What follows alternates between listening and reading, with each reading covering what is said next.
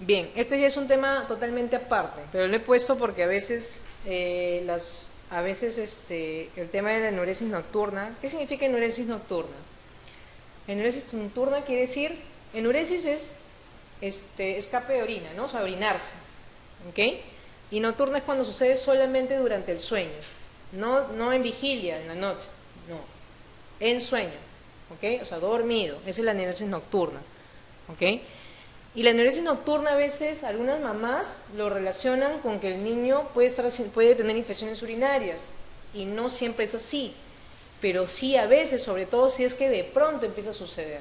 No es lo mismo que un niño desde que nació hasta que tiene más de 5 años siga orinándose en la cama, eso, es, eso se llama enuresis nocturna. ¿ok? Pero si de pronto no se orinaba, controlaba el fin, se despertaba a ir al baño, todo bien, y de pronto empieza a orinarse, ¿ok? De pronto empieza a orinarse, entonces sí hay que investigar que posiblemente sea por infección urinaria, ¿ok? Sobre todo si va, viene, va, viene, ¿ya? Bien. Entonces, en un niño la neurosis nocturna se relaciona con la neurosis nocturna, para hablar un, poquito rápido, la neurosis nocturna, usualmente, si un niño padece esta neurosis nocturna, siempre tenemos que preguntar el tema familiar, porque usualmente hay algún familiar directo que también ha tenido el mismo problema, ya sea de parte de mamá o papá, si no es que es el mismo mamá o papá. No necesariamente tiene que ser la misma mamá o papá, pueden ser los tíos o algún primo, por ahí, ¿ok? ¿Ya? Pero siempre hay una historia familiar de enuresis en algún grado, pero de que la hay, la hay, ¿ok? Acuérdense nuevamente cuando hablamos de enuresis nocturna, cuando sale la frase enuresis nocturna, implica que es un niño que no controla, o sea, se, se orina dormido desde que nació, o sea, nunca controla esfínteres. Y eso sucede, ¿y cuándo se controla esfínteres? ¿Cuándo recién lo llamamos enuresis nocturna?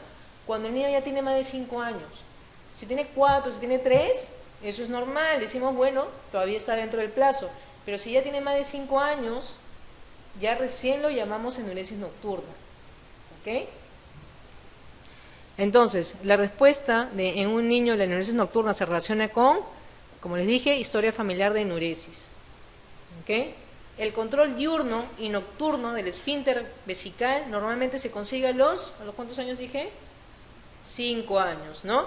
Por ende, recién vamos a, diagnosticar o a ponerle el diagnóstico a un niño o niña de enuresis nocturna a partir de los 5 años, ¿ok? Para ya super repetirles. Bueno, el reflujo ureteral que también, este, si es que vienen preguntas de urología pediátrica, usualmente se refieren a este tema, ¿ok? El reflujo ureteral es la normalidad urológica más frecuente en los niños. Eh, el reflujo ureteral es Obviamente, como lo dice su nombre, cuando la orina pasa o sube de la vejiga hacia el uréter en dirección hacia el riñón, lo cual es totalmente anormal, eso no tiene por qué suceder. Y eso pues, y es, el reflujo vesicureteral se puede dar, uno, porque, eh, por ejemplo, el músculo del detrusor en la zona del trígono está eh, alterado, es decir, no tiene la suficiente fuerza como para eh, cerrar los meatos en el momento en que la vejiga aumenta su presión para el momento de la micción, puede ser porque las fibras eh, musculares del, del, uréter también tienen alguna alteración, y esto hace de que fácilmente se pueda dar esta, este reflujo. 20 a 40% de las infecciones urinarias febriles tienen como causa el reflujo vésico-ureteral. Por eso es que es importante que en las infecciones urinarias se les haga la ecografía, porque lo que se busca es justamente esto, porque es la causa más frecuente de infecciones urinarias en niños, el reflujo vésico-ureteral, sobre todo las infecciones urinarias febriles. se dice que hay una resolución espontánea a los 14 años, es decir, a partir de los 14 años nadie va a tener reflujo vesicoureteral por el tema del crecimiento. Eso es lo que, se, lo que está en, los libros. Se dice que incluso ya cuando tienen más de 5 años, la posibilidad de que tengan eh, un reflujo es bastante baja. Y como le dije, ya casi nula hacia los 14 años. El 80% de los eh, reflujos vesicolaterales de primer y segundo grado se resuelven espontáneamente, ¿ok? El 50% de los de tercer grado y el 30% los de cuarto grado. Los de quinto grado casi, casi ninguno se resuelve espontáneamente. Usualmente para la edad de, de 5 años o 14 años ya están operados. Nadie deja resolver espontáneamente un reflujo de quinto grado. Ahorita les voy a enseñar o les voy a hacer recordarlos este, en qué consisten los grados. El diagnóstico del reflujo vésico-ureteral se hace eminentemente con un examen que hasta ahorita no ha podido ser este, cambiado, que se llama cistografía miccional retrógrada o cisto o uretrocistografía retrógrada miccional. ¿Okay? Eh, este es un examen radiográfico. ¿okay? Hasta ahorita no, no, hay, no hay ninguno mejor todavía. ¿ya? ¿Cuál es el tratamiento? Creo que se me movió las... Acá están los grados. Los grados del reflujo vésico-ureteral. Para cuando hablamos de los grados, es según la cistografía miccional retrógrada, porque es la única que nos dice los grados de reflujo, ¿ok? La única que dice los grados de reflujo es la cistografía misional, ¿de acuerdo? Entonces todos los dibujos estos que ven acá son según, son esquemas de la cistografía misional. Entonces, grado 1, hay reflujo, ¿ok? O sea, este de acá, hay reflujo, pero el reflujo no llega al riñón, como ven, acá solamente está pintado el uréter, es decir, en el momento, la cistografía misional es un examen radiográfico con contraste. Se inyecta un contraste, se pone una sonda uretral y se inyecta contraste, se llena la vejiga de contraste. ¿Ok? Se toma la placa primero con la vejiga llena y de ahí se le pide al niño o niña que orine y en el momento de que está orinando se toma otras placas para ver justamente si hay el reflujo. Y de ahí se toma otras placas cuando supuestamente ya terminó de orinar, es decir, para ver el residuo postmiccional. ¿Ya? Entonces, estas imágenes supuestamente es del contraste. ¿Ok? Bien, entonces, el grado 1, el reflujo no llega al riñón, no llega a la pelvis renal, ¿ok? Y no hay dilatación del uréter, o sea, vemos el uréter que está normal, simplemente vemos que sube la orina, ¿ok? En el reflujo 2, este sí ya llega al riñón, es decir, el contraste pinta toda la vía urinaria hasta los cálices renales, ¿ok? Pero no hay dilatación, no hay, no hay alteración de la estructura de los cálices, ni de la pelvis, ni del uréter. ¿Ok? Todo está normal. Simplemente sube la orina. En el tercer grado ya vemos que hay dilatación leve de la pelvis renal, ¿ok? Pero no hay, alteración de la estructura de los cálices, o sea, los cálices siguen viendo puntiagudos en su, en su término, ¿no? Como copitas se ven, ¿ok? ¿Ya? Pero sí hay un reflujo ya que está dilatando la pelvis renal. En el cuarto ya la dilatación es importante, es decir, ya se ve no solamente dilatación de la pelvis, sino también del uréter, ¿ok? Más importante que en el tercero, ¿ok? Y ya se ve una alteración de la estructura de los cálices, como ven aquí, no sé si pueden darse cuenta en la figura, ¿ok?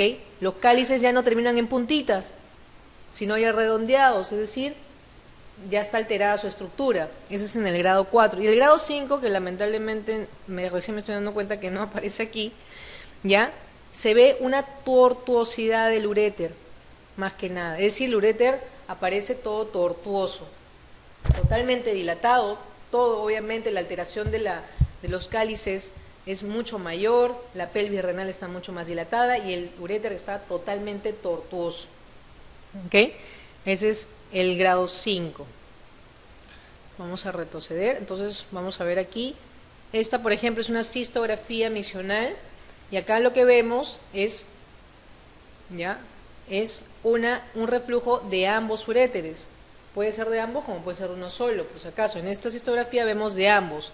Y como ven, hay, una, hay, hay un importante ascenso del contraste todo que llega hasta el riñón.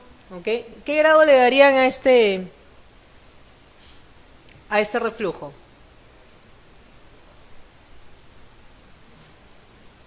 ¿Qué grado le darían? ¿Dos? ¿Por qué no es dos? ¿Cómo? Está dilatado, ¿no? Ya desde que está dilatado ya dejó de ser 2. 3. ¿Podría ser 3? ¿No? ¿O sí? ¿Quién dice que no? A ver, levanten las manos los que les parece que es grado 3. Nadie. A todos les parece que no es grado 3. ¿O nadie opina? No quieren levantar la mano. Los que dicen que es grado 5. Los que dicen que es grado 4. Todos. Ya. Yo también le doy un grado 4. ¿Ok? ¿Por qué? ¿Por qué no es grado 3? ¿Ah? ¿No es qué? Ah, porque la dilatación es leve. Ya, pero hay otra cosita ahí más importante tal vez. Los cálices, ¿no? Los cálices se ven bien, bien alterados. Más que nada eso es tal vez lo que marca el, el grado 4, ¿no? Aparte que ya prácticamente ya se ve, sí, no es algo leve, ¿no? Se ve bastante dilatado los compromisos de los cálices. Muy bien. Entonces volvemos a las figuritas. Si ven las figuritas, se parece más a este, ¿no? ¿Por qué? Porque los cálices no terminan en puntita. Es decir, hay una alteración de los cálices renales. Y eso ya le hace un grado 4, ¿no? ¿Ok? ¿Se dan cuenta? Así no terminan los cálices. Los cálices son como copitas, se ven como copitas. Terminan como en bien puntiagudos. ¿Ya? Bien. Vamos a pasar al tratamiento del reflujo. El tratamiento del reflujo puede ser de dos tipos, médico o quirúrgico. Y cuando hablamos de médico, también está el tema de la observación. ¿De qué va a depender si se observa simplemente o se hace algo? Es si hay o no infecciones urinarias febriles, que, acuérdense, son importantes. ¿Por qué? ¿Por qué son importantes las, es importante tratar o, definir las infecciones urinarias febriles? Por las cicatrices renales, ¿ok? Por eso es importante. Entonces de eso va a depender el tipo de tratamiento que vamos a dar. Eh, normalmente, obviamente cuando nosotros diagnosticamos un reflujo vesicular es porque un niño ha venido con infección urinaria y usualmente esta infección urinaria no ha pasado desapercibida, es una infección urinaria febril. ¿ok? Entonces, el hecho de que ya le diagnostiquemos un reflujo vesicoureteral, o sea, ya está diagnosticado el reflujo vesicoureteral, ya sea de 1, 2 o 3 grados, desde que ya está establecido, hay una alta, alta, alto riesgo, una alta tasa de riesgo de que ese, ese, ese paciente ¿okay? haga infecciones urinarias recurrentes y por ende, y recurrentes febriles, y por ende, mucho riesgo de, de que forme cicatrices renales y por ende daño renal. Entonces le damos algo que se llama quimioprofilaxis antibiótica. Sobre todo cuando son grado 1, grado 2 y hasta incluso grado 3. El grado 3 siempre, el del medio siempre es el que nos va a tener eh, la conducta expectante. ¿ok? Pero grado 1 y grado 2 no se opera, se, da tratamiento médico. ¿ok? ¿Qué se espera? A que se resuelva espontáneamente. Acuérdense que el 80% se resuelven espontáneamente. ¿Ok? Entonces, ¿qué se da? La idea es evitar que haya daño renal y por, ende lo que tenemos que evitar es que haya infecciones urinarias febriles y le damos por eso la quimioprofilaxis antibiótica. ¿Qué se utiliza? Este, ¿Qué medicamentos se utilizan?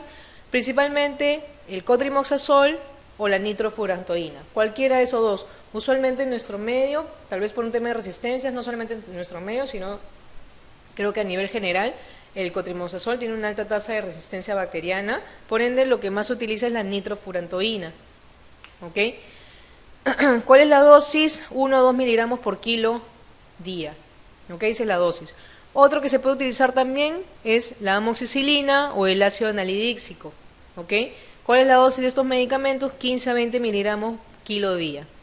¿Ok? Pero los más utilizados son la nitrofurantoína. Bien, entonces cuando grado 1 grado 2 o incluso usualmente, usualmente grado 3, ¿ok? Pero el grado 3 lo tenemos ahí también a la expectativa.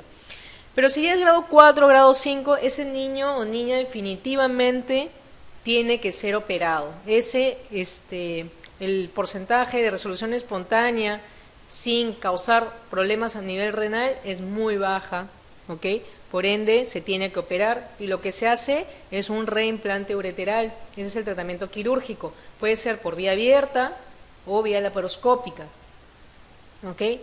Hay una nueva modalidad que es la cirugía endoscópica, es decir, ingresar por vía uretral y lo que se hace se inyecta, usualmente como les dije es por una flacidez del músculo trigonal, ¿ok? O el, y por ende el meato es muy, muy, muy ancho, muy abierto, y lo que se hace es se inyecta debajo del meato una sustancia biocompatible, como un gel, como una cera, se inyecta, entonces se forma una protusión que cierra el meato. ¿Ok? Eso es lo que se hace. ¿Ya? Entonces, eso usualmente se utiliza en grado 3, por ejemplo, cuando eh, no está, digamos que tienen, las, tienen el grado 3, no se sabe si está para operarse o no, está en una edad en que podemos esperar, entonces se puede intentar haciendo el endoscópico. En el grado 2 también cuando a pesar de la, se le hace quimioprofilaxis antibiótica y a pesar de eso tiene infecciones urinarias, entonces podemos intentarle hacer el lado endoscópico, ¿no? Como para cerrar el meato ureteral y que no refluya tanto. Y a veces con eso es suficiente, ¿ya? Pero si es grado 4, grado 5, definitivamente se va a reimplante ureteral, ¿no? O sea, la cirugía. Como les dije, grado 3 es variable, ¿ok? Bien. Por ejemplo, este va a reimplante bilateral. Bien, no sé si hay alguna duda em, sobre lo que es este reflujo ureteral.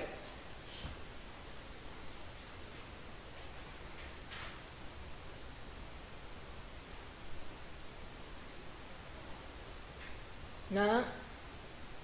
Bien. La causa más frecuente de dilatación renal en la infancia se le hace una ecografía, ecografía, hidronefrosis. ¿Qué es lo más frecuente que sea la causa de esto? El reflujo, ¿ok? Así es, es el reflujo. Antes que cualquier cosa, como les dije, el reflujo vesicoureteral es la alteración urológica más frecuente en los niños. Entonces, hidronefrosis, usualmente un niño es igual a reflujo hasta que se demuestre lo contrario. Entonces, por ende, lo primero que se hace es descartar el reflujo. ¿Ya? Bien, entonces, esa es la respuesta. ¿Cuál de las siguientes afirmaciones referentes al reflujo vesicolateral en el niño no es correcta? O sea, vamos a buscar la falsa. Vamos a ver. ¿Se encuentra en el 30% de los niños con infección urinaria? Le dijimos que sí, más o menos, ¿no? Ese es el ese es más o menos el porcentaje, 40, por ahí. ¿Tiene tendencia a la curación espontánea? Depende, de, depende del reflujo. Realmente esta pregunta es bastante capciosa, porque eso depende, ¿no? Acá no me está diciendo qué grado de reflujo es. ¿Ok? No es lo mismo hablar de, un grado 1 a un grado 5. ¿Ok? Entonces lo vamos a dejar ahí. ¿Tiene gran trascendencia como factor predisponente a la infección renal y pironefritis crónica? Dijimos que sí, ¿no? De hecho es por eso que, que se le trata, ¿no? ¿Ok? Cuando se diagnostica antes de los 5 años, la indicación quirúrgica es la norma.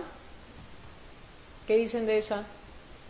¿Es la norma de indicación quirúrgica? Depende del grado, así es, ¿no? Entonces, no es que, no es que sea la norma, ¿no? Esto es como decir siempre. Esta, esta frase de acá es como decir siempre, ¿no? Entonces, bueno. Bien. En los casos idiopáticos, considerados en su conjunto, puede afirmarse su condición genética, está bastante ligado a un tema hereditario, ¿no? Usualmente, si en un niño encontramos este reflujo, eh, siempre es bueno hacer un, screening en sus hermanos. Un screening en sus hermanos, preguntar a vez mamá, papá por ahí que también, mamá, papá o algún tío o algo ha, tenido el problema. ¿Ok? ¿Ya? Entonces, la falsa es la D, aunque también este, la B también es, bastante capciosa, ¿no? Pero bueno, la más falsa es la D. Bien. Por si acaso en los exámenes de, tanto del ENAM como el de residentado nunca van a ver un tipo de pregunta así. No es correcta. Normalmente todas las preguntas terminan en es correcto que bla bla bla bla, bla es correcto o marque la correcta. No, normalmente no se pide la falsa o no se pone incorrecto. Usualmente eso es lo que lo que está este, lo que es el estándar. ¿ya? Entonces, estas preguntas así de que, de que te confundes, están preguntando lo correcto, lo incorrecto, normalmente no sucede. Este es, normalmente es un es del, del banco de preguntas, cuando antes era así. ¿Ya? La exploración, más adecuada para diagnosticar el reflujo vésico ureteral, ¿cuál es?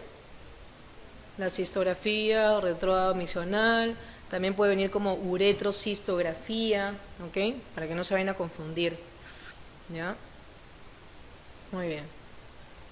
¿Cuál de las siguientes afirmaciones referente al reflujo vésico ureteral grado 1 en el niño es incorrecta? ¿Cuál es la falsa con respecto al reflujo grado 1? ¿Se diagnostica por cistografía? ¿Se diagnostica por cistografía el reflujo grado 1? ¿Sí o no? Sí, no, es la única forma de diagnosticar el grado del reflujo por cistografía. No hay otra forma. ¿Ya? Acuérdense que los grados es según la cistografía. ¿Ya? ¿Se deben tratar con profilaxis antibiótica? Sí, así es. ¿Tiene tendencia a desaparecer? Sí. ¿No produce dilatación de la pelvis ni de cálices renales? Así es. ¿En un niño menor de un año debe corregirse quirúrgicamente de forma precoz? Falsazo, ¿no? Ya dijimos que es tratamiento médico, ¿no? ¿Ok? Muy bien.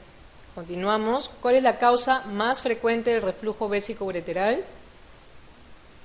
Ureter ectópico no tiene nada que ver con reflujo. Puede haber un ureter ectópico y funcionar adecuadamente. No porque sea un ureter ectópico va a, ser, va a dar reflujo. Infección urinaria, infección urinaria no causa el reflujo. Es al contrario, el reflujo causa la infección. Debilidad del trígono y musculatura ureteral es lo que les comenté, ¿no? Esa es la causa. ¿ok?, Duplicación del uréter, eso no es causa de reflujo. ¿Ok? O sea, no necesariamente, mejor dicho. La estenosis de cuello vesical tampoco necesariamente causa reflujo. ¿Ok? Entonces, la respuesta en sí a la causa es esto, la debilidad del trígono y musculatura ureteral.